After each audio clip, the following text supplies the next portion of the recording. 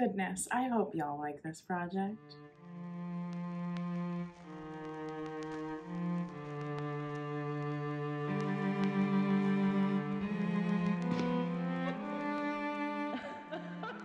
Hey y'all, welcome back to my channel, or welcome if it's your first time here. My name is Katherine Young and I'm a creative, and this channel is all about thrifting, vintage, creative projects, and more. And you, my dear, have landed in my Thriftoween series. So this is a series that is all spooky and thrifty and secondhand and creative. Now there is a full playlist, so if you want more spooky, thrifted, vintage inspiration, go check it out. And today we are gonna work on some decor for my home and it's actually a really, really old idea. Today we are going to work on a cabinet of curiosities. now the idea of a cabinet of curiosities has been really growing in popularity recently. You just look at like Michael's current Halloween display and you can see all the pieces that are all styled kind of with this idea of cabinet of curiosities. And with people embracing the nationwide event of the Curiosities and Oddities Expo, and more people finding each other online and kind of this love for like macabre and the strange, uh, the idea of a cabinet of curiosities is just really catching steam. But this idea truly is an old idea. So uh, as far as I know, the actual term cabinet of curiosities is Victorian.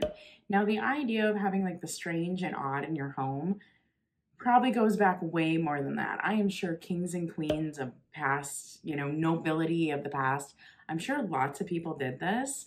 Um, I mean, why not? If you're going to entertain in your home, you might as well have entertaining things to look at in your home. Now, I actually consider my home kind of a cabinet of curiosities. Uh, I, I love having things all around my home, which are just fun to look at. And so today we're going to make a piece for my Halloween decor that I plan on actually keeping up year round. Now for this project, I'm going to use this old printer's tray. I think this is absolutely perfect for the cabinet of curiosities vibe I am going for. However, you could do this at home with kind of any kind of small shelf that has um, little sections. You could even take like a shadow box or a box and section it out and still get this effect. You don't need this many little holes to create a cabinet of curiosities. And what really excites me about this is my aesthetic um, is really all over the board. It's everything from the funky and fun all the way to the darker and more macabre. So I'm really excited to make a cabinet of curiosities that really fits me and things I love. So I hope that you take some inspiration from what I create and maybe you can make a cabinet of curiosities that really fits you, that really fits things that you love for your home. Um, it doesn't necessarily need to be like the perfectly stylized one all around goth or macabre. You can make a cabinet of curiosities that just fits you. Now, I have been collecting little bits and bobs to put in this cabinet for well over a year now, and I think I just have enough to really get it going and get it filled. I anticipate over time I will find more things to fill it up more, but I'm really excited to get started with what I have. I also am going to use vintage ephemera. Now, if you know anything about me, you know I love, love, love vintage ephemera. And so I'm gonna take some creepy, weird, spooky vintage ephemera that I love. And I'm going to use that in the back of this. So I would say that that step is like an extra step. I wouldn't say to make a cabinet of curiosities, you need to do that extra step with ephemera. But because this is my cabinet, the extra step with ephemera fits me perfectly. So I have squirreled away all kinds of things I want to use in this project. And over here in my witchy corner, I have a bunch of things saved in some little drawers. It's more than I realized once I pulled open the drawers. lots and lots of littles that are going to be great for this project. So all kinds of things hidden. I think I'm going to use some crystals too. I think that's going to be wonderful. But yeah, the fun thing about preparing for this project is it doesn't take up much space. uh, all these little things I kind of put aside, possibilities for this project. Once I laid out everything that I thought I was going to use on the project, it was slightly overwhelming how much I had accumulated. And like that item I had picked up thinking, oh, maybe I can use this in the project. There was a lot more than I thought. Um, and also, I was very mistaken on proportions. A lot of these things were way, way, way too big. So once I kind of got this laid out in a way that I liked it, um, I kind of realized that these really, really small, narrow little parts aren't as useful, and I might pull some out there. I might pull out some of the beams and make some larger parts so that a few more larger things can fit in here. Um, those really, really small holes can only fit certain things, and I think I'm going to need some more space. So I started pulling apart the pieces. Um, it wasn't as easy as I thought, actually. Uh, there were some nails in there, but uh, once I got things pulled apart, this is kind of what we're dealing with. See how it really opened up some of the spaces? Yeah, really opened up some spaces. I'm actually going to keep this. This came out like this, and I thought that would be kind of neat for a project in the future. Um, I tend to keep bits and bobs for all kinds of things. Um, I put them in my box of possibilities for later. So um, yeah, I think this turned out really good. Next, I went on to the vintage ephemera. Now, most, not all of it, but most of the ephemera I am using for this project, I got from the Rusty Snail in an ephemera pack uh, I picked up on the Withering Cottage uh, on Ariana's channel. And I'm just paging through it here now to see what I want to use. And honestly, I had way more than enough. I couldn't believe how much I had stored away for this project. Uh, so I let the sorting process begin and I kind of put these things underneath to see how they would fit in the spaces. And this actually worked extremely well. And I kept comparing it to a picture I had taken with items in the spaces to kind of decide what I wanted behind what items. I then laid this all out and took a big picture of this uh, so I could kind of remember where I wanted some of these placed. I then drew all the boxes on the backing, and these items are going to get glued onto this backing, and I'm just going to kind of follow the template. This part was really the tedious part because I really had to be careful where there would be gaps and where there would be places where you could see something. So it was a little bit of building behind the main image happened more often than not. Um, tiny pieces had to be had to go behind other pieces to make sure there was no gaps when everything was put together. But I really enjoyed this part. This took hours and hours and hours, but the time just flew by for me because I was in you know, I was in the creative zone. You know what I'm talking about. Um, when you're having a lot of fun with a project, time just kind of seems to fly by. But this this really did take hours to mock this part up.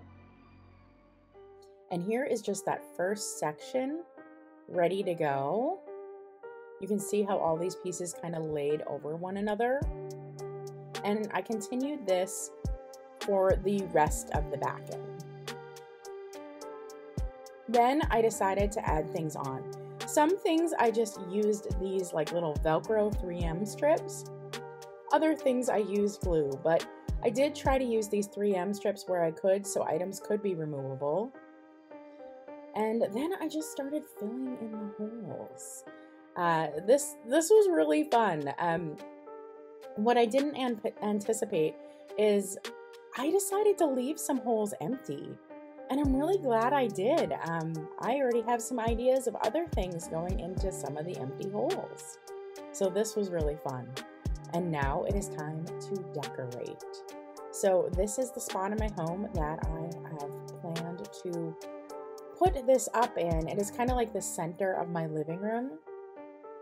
And as you can see, I had kind of like a Alice in Wonderland theme going on there, and we're going to continue that on with this project. There it is. Oh, ah, don't worry, we'll get a close up soon, but I'm going to keep teasing you with a faraway view.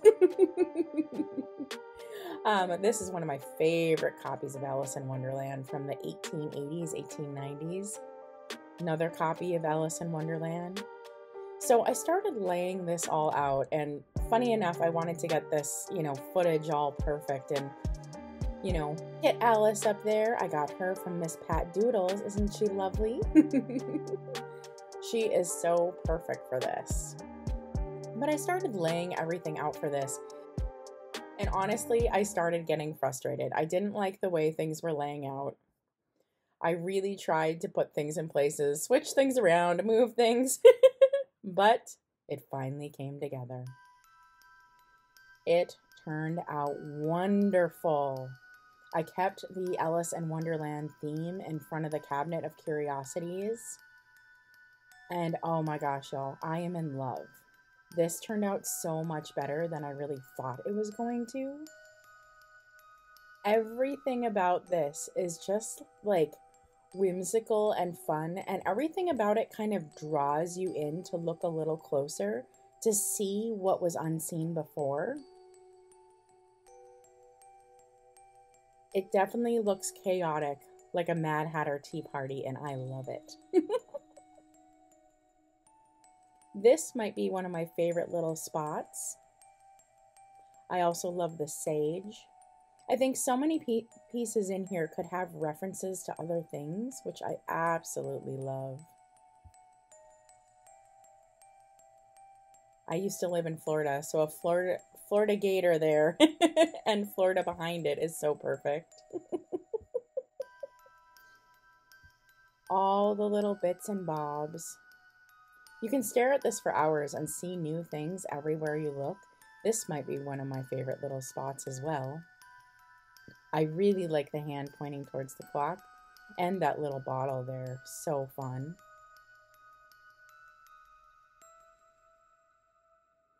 I'm really happy that I chose to put the ephemera behind items. It gives it little spots like this where there's just little hidden gems behind the items and I really like that.